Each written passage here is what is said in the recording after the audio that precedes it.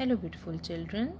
Today we have a story Pete the Cat. I love my white shoes.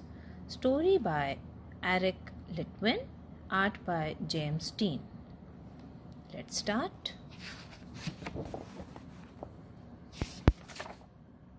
Wow, what a beautiful illustration we have. Pete the cat. I love my white shoes. Pete the cat was walking down the street in his brand new white shoes. Pete loved his white shoes so much he sang this song. I love my white shoes. I love my white shoes. I love my white shoes. Oh no! Pete stepped in a large pile of strawberries. What color did it turn its shoes? Red. Did Pete cry? Goodness, no.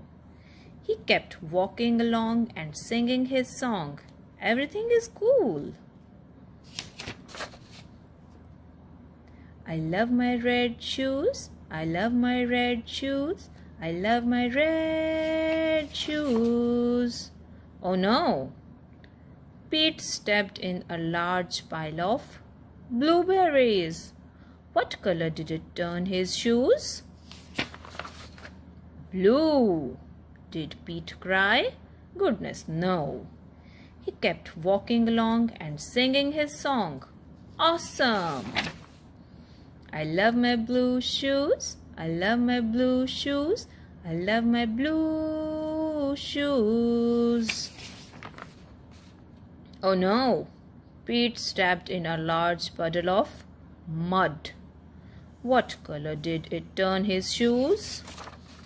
Brown. Did Pete cry? Goodness, no. He kept walking along and singing his song. Groovy. I love my brown shoes. I love my brown shoes. I love my brown shoes.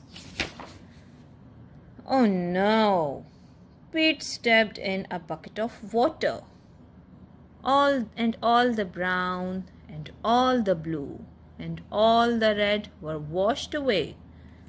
What color were his shoes again? White. But now they were wet. Did Pete cry? Goodness, no. He kept walking along and singing his song rock and roll. I love my wet shoes. I love my wet shoes. I love my wet shoes.